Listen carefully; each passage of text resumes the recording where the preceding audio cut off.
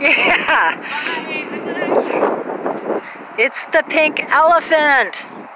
What town it's in, I don't know.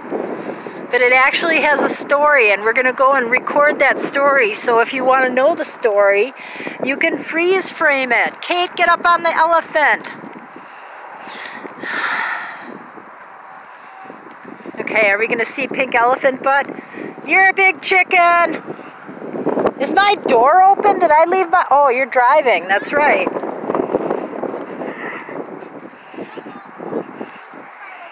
Okay.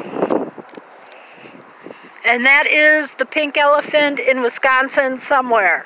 What I'm gonna do is video the story.